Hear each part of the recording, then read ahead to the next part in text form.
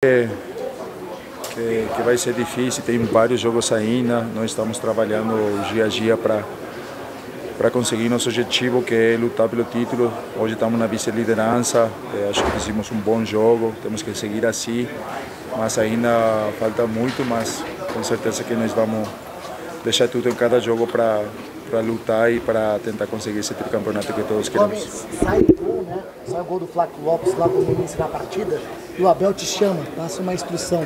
Queria saber o que ele foi, que foi passado para você do treinador, né? Se foi em questão de intensidade. Não, segui com a mesma forma. É, acho que, que você mostra respeito com o seu adversário, você jogando da mesma forma, concentrado o tempo todo.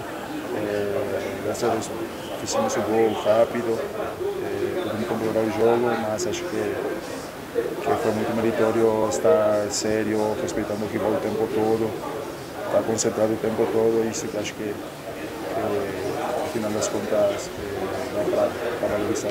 Gomes, com a vitória de hoje, você ultrapassou o Luan como zagueiro com o maior número de vitórias no Palmeiras em Campeonato Brasileiro, 87 vitórias.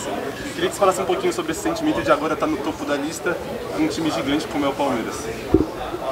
Acho que os números, eu fico feliz, mas é, mais feliz conseguir uma vitória, é, estar aí perto da, do líder, estar na, na vice-liderança com o tomar gol. Mas fico feliz por isso, mas é secundário para mim. Quero passar o Luan, que é um parceiro também, que eu falei com ele, com saudade.